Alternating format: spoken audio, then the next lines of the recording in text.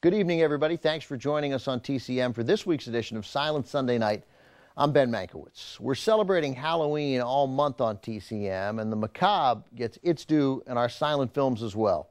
Up next, we have one of the earliest big screen adaptations of the Robert Louis Stevenson novella, The Strange Case of Dr. Jekyll and Mr. Hyde. This version is considered by many to boast the best performance of the tormented doctor of all the screen adaptations. From 1920, starring John Barrymore. Dr. Jekyll and Mr. Hyde.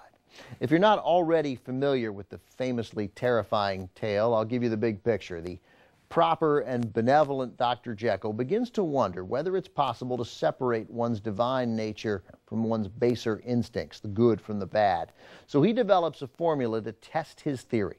The concoction turns the doctor into a truly devilish and depraved creature. That's Mr. Hyde. Although Jekyll has another formula to restore him to his normal self, his evil side becomes stronger and stronger every time he becomes Mr. Hyde, threatening to consume Jekyll entirely.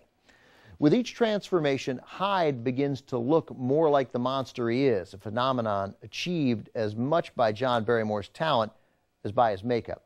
In the first transformation scenes, Barrymore effectively conveys the deranged Mr. Hyde with contorted expressions and mannerisms. Makeup is only used as the film progresses to demonstrate how Hyde's appearance grows more beastly the more dominant he becomes. Barrymore gives a virtuoso performance that many critics believe surpasses two outstanding sound film portrayals of Jekyll and Hyde by Fredric March in 1932 and Spencer Tracy in 1941. This version is vastly better than another silent version released the same year, 1920, featuring Sheldon Lewis in the title roles.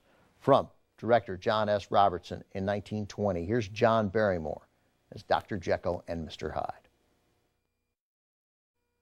While shooting Dr. Jekyll and Mr. Hyde, John Barrymore was also in rehearsals for Richard III on Broadway.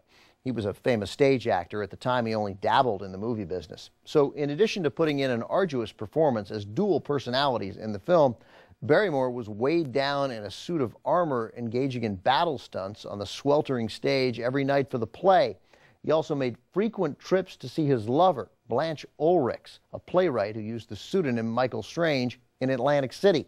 By the time Barrymore finished Dr. Jekyll and Mr. Hyde, he had spread himself so thin he had a nervous breakdown, had to recover in a rest home for two months. Up next, we continue our horror theme with this week's TCM import. It's a murder mystery and the first film directed by Bernardo Bertolucci.